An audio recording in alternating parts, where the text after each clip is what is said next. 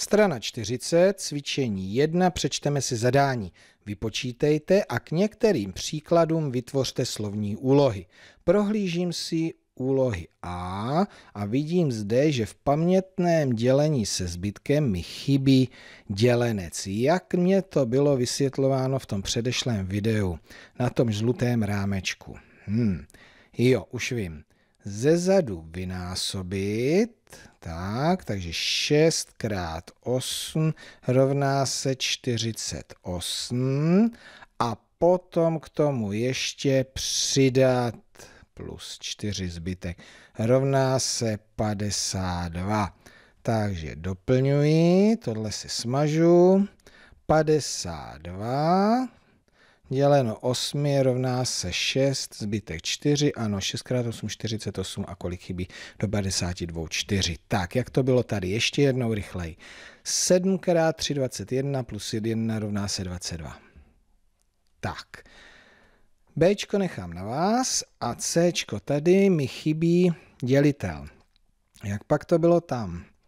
Nejdříve jsem si se zbavil zbytku, takže 31 minus 1 rovná se 30 a potom se to vydělilo. 30 děleno 5 rovná se 6.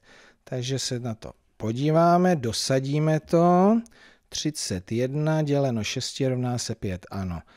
To je 30 a zbytek a 1, zbytek 1. Tak, 46 děleno kterým číslem rovná se 6, aby uh, ještě zbyl zbytek 4, takže 46 minus 4 je 42, děleno 6 rovná se 7. 46 děleno 7 rovná se 6. Tak, Eh, D zase vám, takže na chvíli si přerušte video, abychom se přesvědčili, zda jste ty příklady pochopili. Tak, přerušujte a za chvíli ukážeme řešení.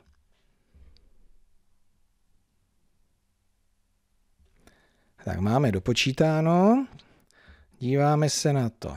Tak 6, tady 52, 20, výborně, a tady 472 děleno 60 rovná se 7 zbytek 52, 172 děleno 20 rovná se 8 zbytek 12 a tady jste to dopočítali 460, 490 pardon, děleno 80 rovná se 6 zbytek 10 a 270 děleno 50 rovná se 5 zbytek 20. Tak, zapamatovali jste si to? Jo? Tak to jsem rád, no a určitě si to procvičíme ještě v nějakých dalších příkladech nebo ve slovních úlohách.